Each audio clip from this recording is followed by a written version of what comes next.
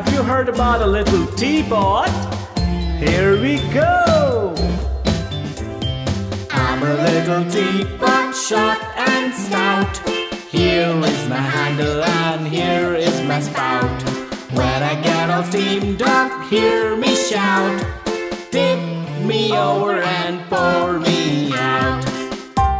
Okay, now you know about the little teapot. Let's see what the teapot has to say. I'm a clever teapot, yes, it's true.